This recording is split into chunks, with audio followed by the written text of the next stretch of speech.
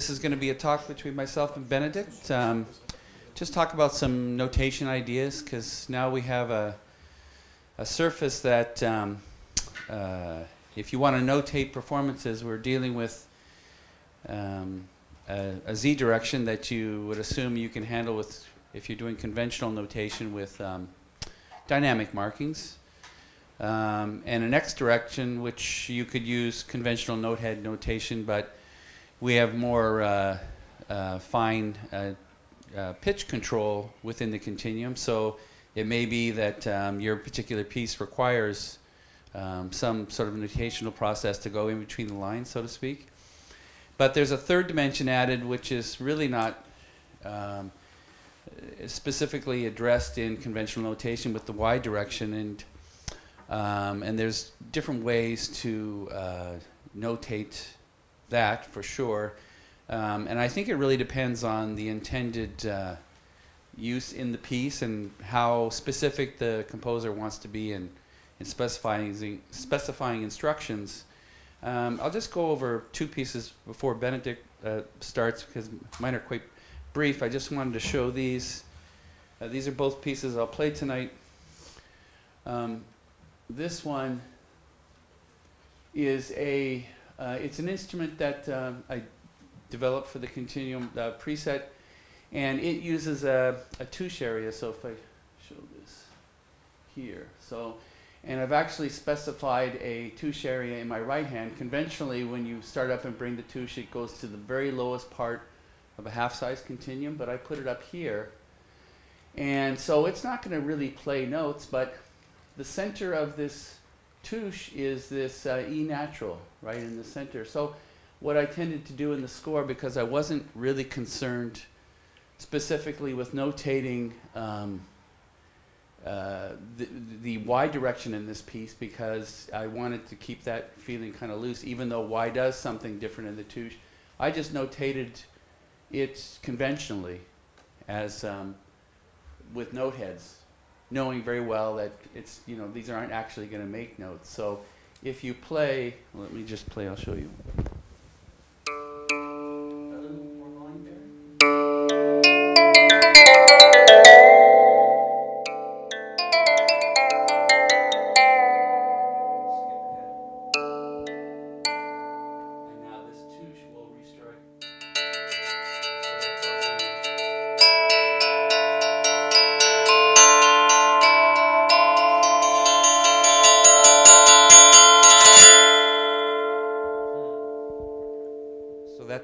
Approach.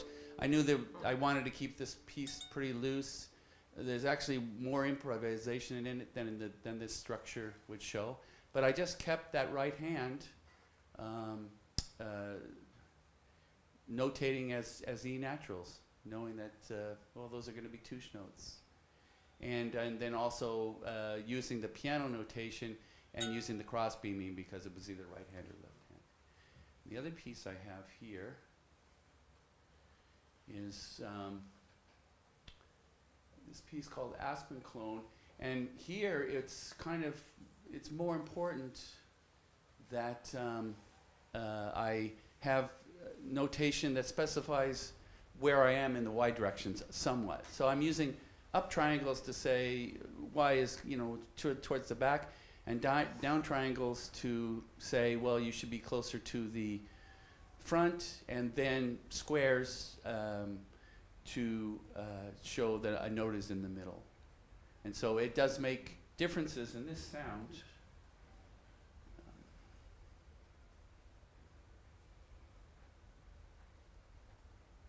Um, that when you play with white was one, it's diffuse and it gets more focused as you go towards white with zero.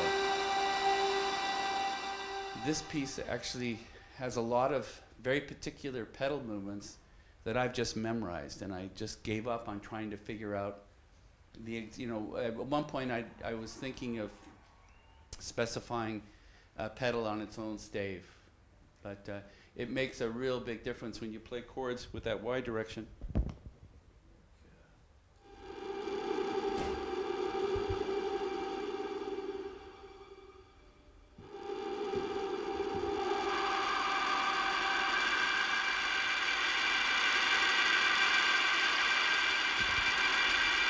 And I'm using a lot of half pedal te techniques to sustain sounds, but then fade them out.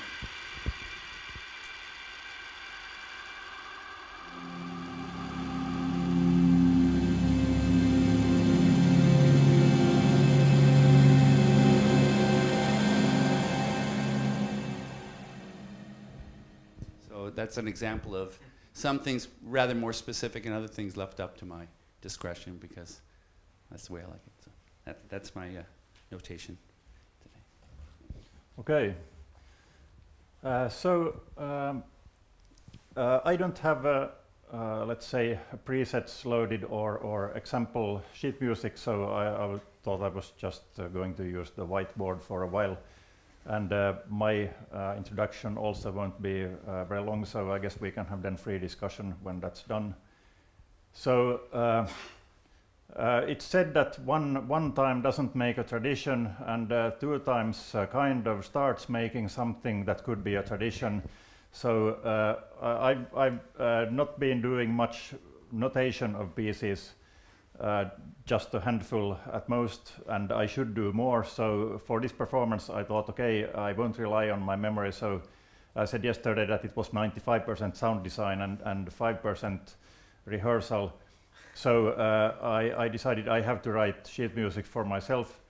And uh, so then there were some, some things that I didn't do in, in Asheville that I thought, okay, how to solve these. And I gave up already long ago on using notation software for these things because I found that uh, they are, even Finale is, is uh, very flexible, but you can't make your own symbols really. And uh, then also if you want to do, uh, I usually, uh, for some reason, I prefer to use kind of more improvisation uh, sheet music, so I don't even notate the, the time values, I, it's just note heads to give me the pitches, and then, then uh, the rhythmical aspects are totally free or at least improvised.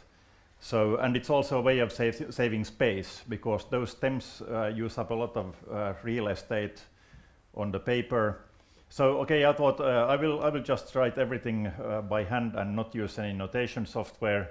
Then I can use any kind of, of symbols I like. And um, so uh, obviously one, one way of saving space is to use just note heads, uh, which is similar to, to what Ed has done here. Uh, and then we come to this y direction. So it's perfectly right what Ed said that, that it's of course less accurate than, than the other directions. So you could live with just three symbols. But for, for this particular piece, I started using a kind of shorthand notation for that uh, uh, is well suited to, to the y direction, but you can also notate the, the z or c direction there if you want. And those who have uh, studied the uh, Facebook discussion are already familiar with this, but I will draw it on the whiteboard.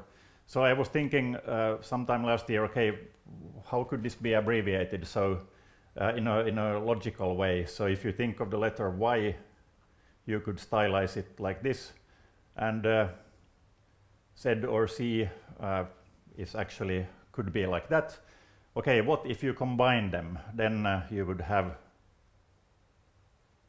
this kind of thing, but that's uh, still too complex. So you could have just uh, this thing.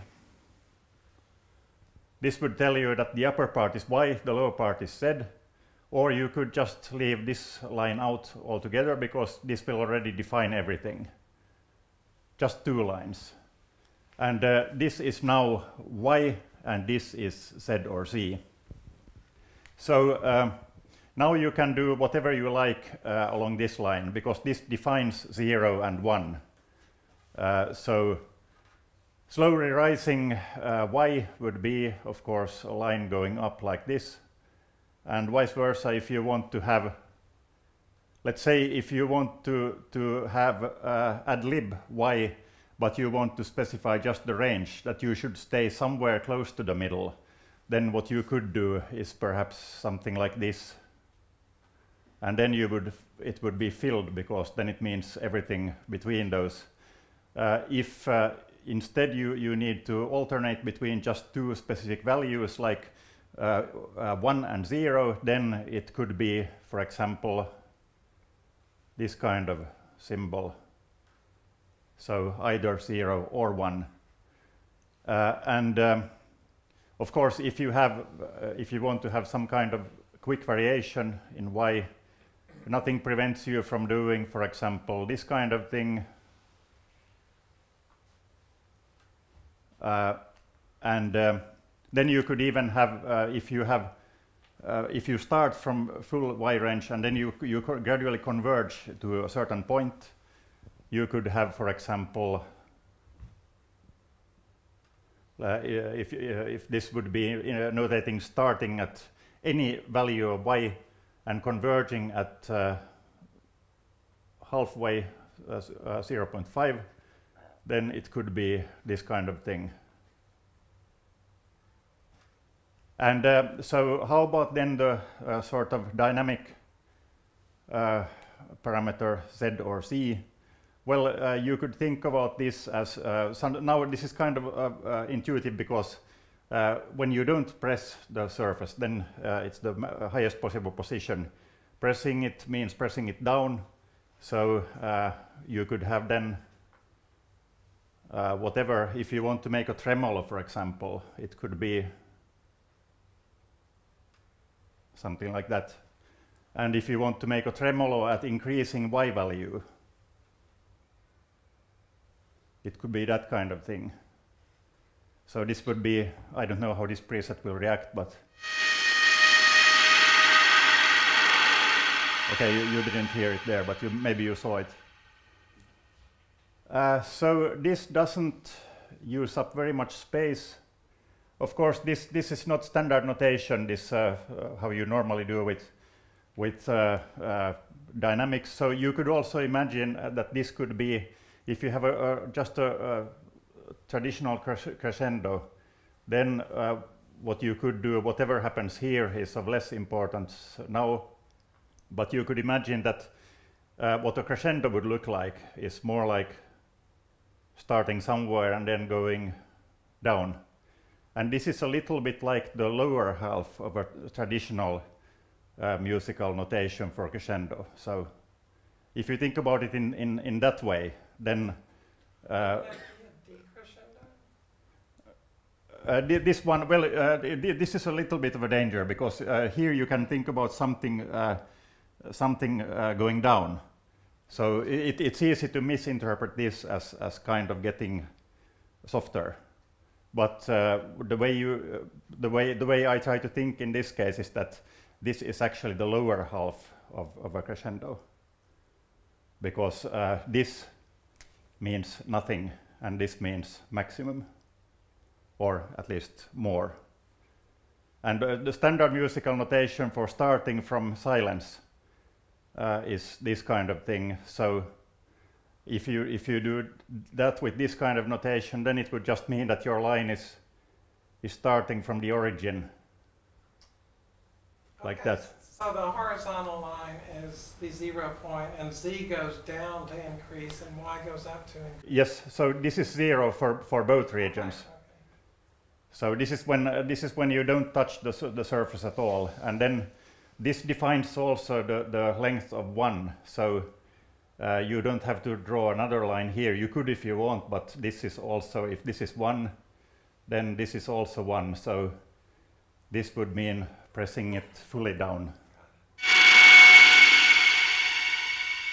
And uh, of course, you could still combine it with traditional notation. So if you don't need any information about y, then uh, of course you could use just traditional notation uh, and um, if you don't need these kinds of things, you only want to, no to notate y, then we will would go back to, to this kind of thing.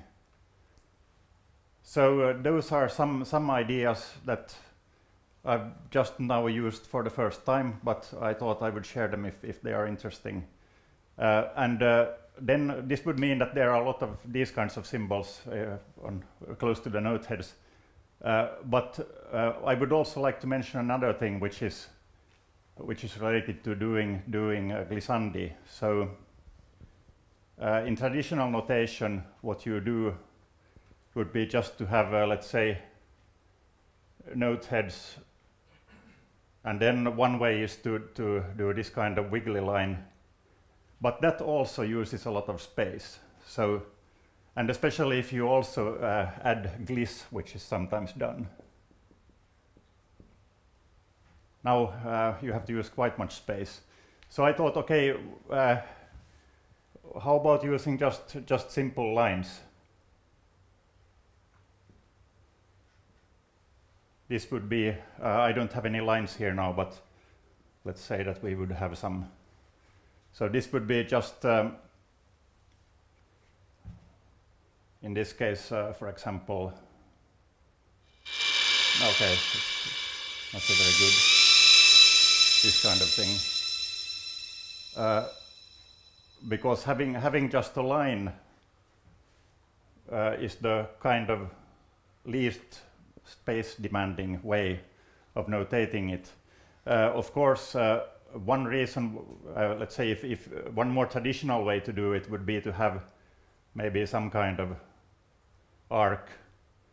But then if you have an arc, I've been thinking that this would be a good way to notate also a kind of quick glissando. So if you have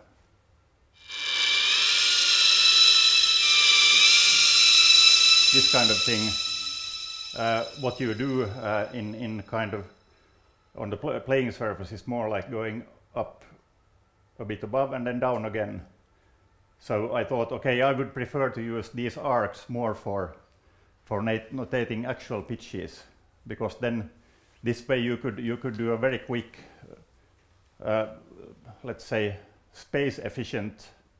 If this is a note head, and if you want to do this kind of thing, for example, in principle you could, or maybe this is not a good example, let's have, let's have this kind of thing. So it's a bit hard to draw uh, well here, but uh, this way you could notate, for example, this kind of thing.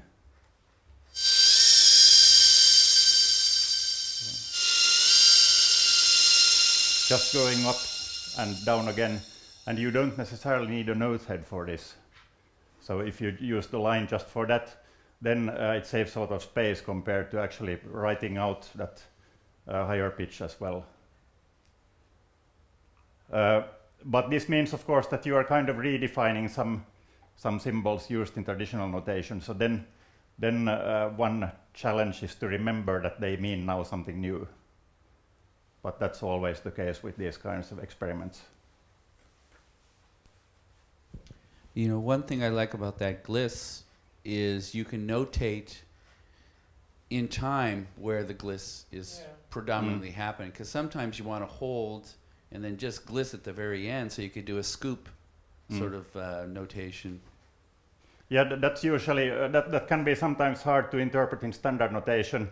Of course, uh, sometimes what is done is to just just notate, uh, let's say, A tie, yeah. yeah, you, you have you have kind of uh, the time values explicitly shown, and then then you have uh, let's say the final glissando is then a different note, and okay now it's too too close, but normally you would have a wiggly line between these. hmm So then you could have, for example, if this would be uh, okay, you could have half note here and a quarter here, and then a final quarter here. Then that would give you some idea about that uh, glissando coming only at the end. Yes, yeah. But that, What- that too yeah, uses more space than just having a line. And also, it's in a lot of ways too specific because sometimes a gesture like that is really more of a feel thing at the end. Mm. And, and so, if you really, what you're really trying to say is, oh, just within that last little bit, um, you know, within that last 30 second note, I want this little scoop. Mm. That that ends up being very messy in conventional notation when you're just trying to do a simple little uh, uh, gesture. And then maybe one, one final thing I thought about mentioning is that, okay, how about then some, some sharp attacks? Uh, in conventional notation, you could use this uh, this kind of okay where's space left here so just dra dra drawing a general note head here and then you could have this kind of I don't remember what it's called. That's one way of doing it. But uh, in in this kind of system what you could do is basically just you could even go as far as just having one line down. And if not one line down then maybe something like something like that perhaps. So that would be very sharp I don't know if this is the right preset to demonstrate it that kind of thing or then if you have a sharp attack and then the note goes on so it could be then yeah, okay, it's, it's, but you, you get the idea anyway. Uh, okay, let's see, is there anything else?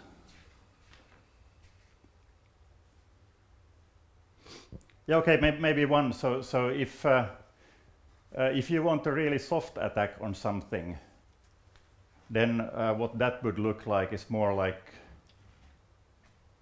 uh, if you just uh, do, if you don't notate anything on the on the y side, it could be, for example, like this. So it's uh, you aren't holding it down, you aren't doing this sharp attack, but you are kind of stroking it like that. And of course, if you want to combine that with a sweep of y from zero to from one to zero, it would be like that. So this would be this kind of gesture. And of course, there's no, uh, you could, uh, if you have some time axis here, you could have some duration also, but uh, it gets messy if it's too long, so I don't know. Maybe what you could do is have the symbol and then this kind of line saying where it applies. So you don't have to make it too wide.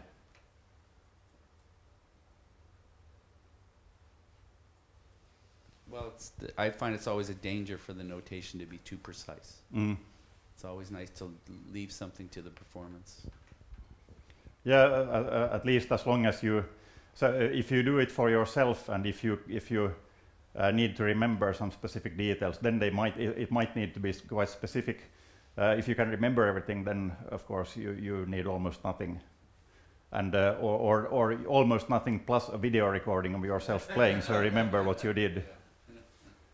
Actually, one thing that would be very useful for remembering what you do if you just record your fingers from above, then you don't see this uh, depth dimension. But if, if you combine that with uh, video of, of the editor showing uh, the movements on, yes, that, that, that would be very, very efficient.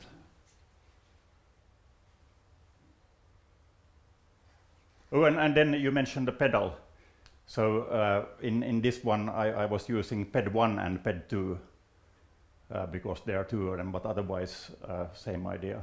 I, I tend to use that conventional pedal notation because I have one as a, s- as a sustained and the other is continuous.